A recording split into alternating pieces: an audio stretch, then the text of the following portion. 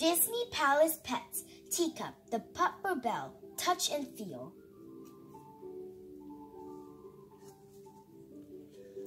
For Teacup the pup, all of Belle's castle is a stage.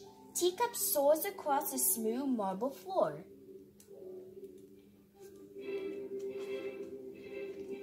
Teacup tap dances up the soft velvet steps.